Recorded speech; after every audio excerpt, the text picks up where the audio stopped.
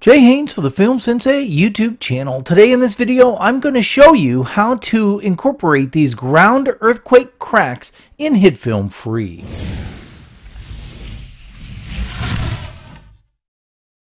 These ground earthquake crack assets come from Production Crate. I will leave a link in the description below so you can go get those and play with them in your footage yourself. There are actually a few ways to be able to do this, so I'm going to start by creating a new composite shot, and it will be the picture of the street, and notice that it's 1920 by 1080. I'm just going to make this a three second long comp, and then I'm just going to drop this street picture in and maybe fit it to the frame just like that. So this becomes my working picture and then if I create another new composite shot, and I call this Street Final, and click OK, I can go ahead and bring in the picture of the street in there.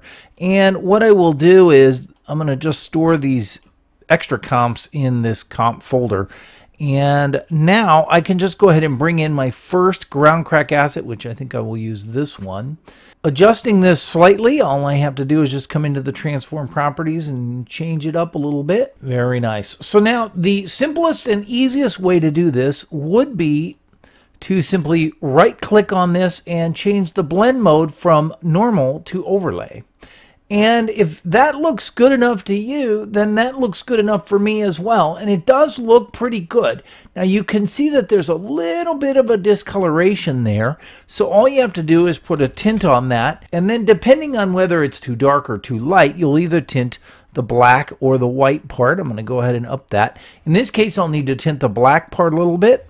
And there we go. And now you can see that it's a little bit lighter and it doesn't look too terrible. Now, also, I might add a brightness and contrast effect and just increase the contrast so that it looks a little bit more aligned with the lighting of the scene. So this is sort of the first way to do this. But if I were to grab a different picture, say for example this tennis court and drop it in here, and then I were go back, you can see that that doesn't look nearly as good as the other picture did.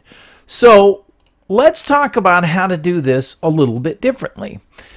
I'm going to create another new composite shot, and this will be called the picture of the sidewalk. And now I'm going to drag this sidewalk picture in, and I'm just going to make a few adjustments here. Now that I'm happy with that, I'm going to create another new composite shot. We'll call this one sidewalk final.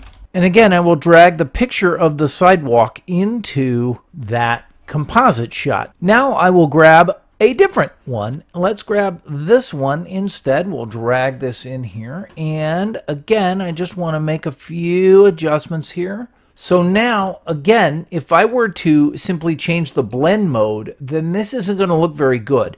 A different way of changing the blend mode would be to go controls and then blend and again, overlay. That looks terrible. So that's just not going to work. So what I'm going to do is go back to a normal blend mode.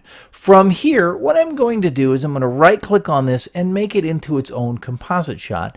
I will go ahead and move everything with it, including the masks and effects as well as the uh, timing and all that sort of a thing, bringing it in here. So now I have this. What I want to do is I want to go ahead and add a keying element to this. And the key will actually be a luminance key. So I will drag that on here. And I want to key out the brighter. And then I'm just going to adjust the threshold until the brighter parts are now gone. Going back to the sidewalk final, you'll now see that that looks a lot better, a lot better, only showing the inside of the crack itself. Then again, if I want to add my brightness and contrast effect, I can drop that right onto the footage and then increase the contrast.